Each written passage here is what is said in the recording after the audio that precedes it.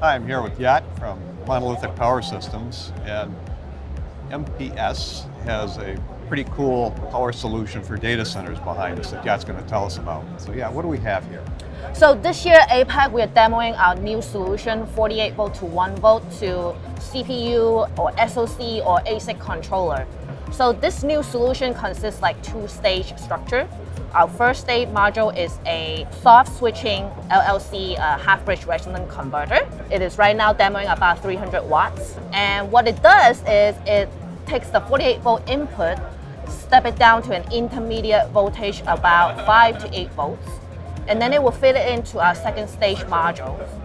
What we're demoing right now is about a 400 amp capability to power up any SoC or GPU or ASIC controller. What's the efficiency? The first stage efficiency we have right now is peak about 97%. And our second stage for peak efficiency at a output voltage about 1.8 volt, it's about 97%. So for combining two stage overall efficiency, we can achieve about like 95%-ish which really exceeds the expectation for a 48 volt to 1 volt, and it matches the 12 volt to 1 volt state of the art conversion efficiency.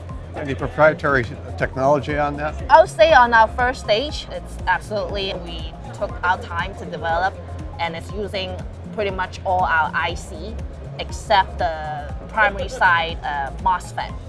So everything else is really MPS proprietary ICs. I see. Well, um, let's take a closer look at it. Sure, absolutely. Here we have the 48 volt input feeding into our first stage module, which is right here. This is the soft switching LLC resonant stage. It utilizes a planar transformer, which is we feed it 48 volt input and step it down to a 5 volt to 8 volt intermediate voltage. And after that, we use that intermediate voltage fit it to our second stage right here. And currently for our demo for APEC this year, we are showcasing our MPS digital controller driving eight of our driver MOS, which can help us to deliver 400 amps peak of output current right now. Yat, where would people go for more information about this system? For more information, you can go to www.monolithicpower.com or you can just click on like any contact button on, on the website. It will direct to the email to either my director or to me. Oh, well, that's awesome. That uh, sounds like a very efficient way to do things. Yes, Thank you. absolutely.